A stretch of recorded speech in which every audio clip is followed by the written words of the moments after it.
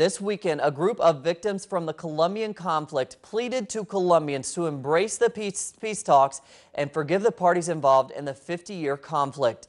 The first group of 12 victims testified that they were willing to forgive acts of cruelty to negotiators to continue with the talks and make a deal. It marks the first time victims from the armed conflict have been given a voice during the peace negotiations.